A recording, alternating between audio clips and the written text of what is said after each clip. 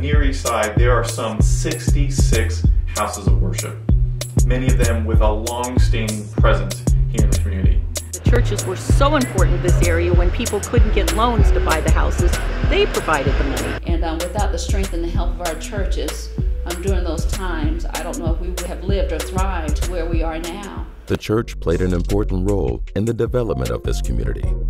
And as early as 1823, black members of the Methodist Church formed what became the oldest church in Columbus, St. Paul's African Methodist Episcopal Church on East Long Street. We've all been called to a greater thing, and, and God has designed us to do something that's quite different than anybody else. I do believe uh, that uh, this community is uh, what it is in part because of the historical contribution of the churches in this Mount Vernon community. The ongoing increase of vibrancy and thriving energy within our community. I imagine a Mount Vernon Avenue and Long Street with new development as well as redevelopment.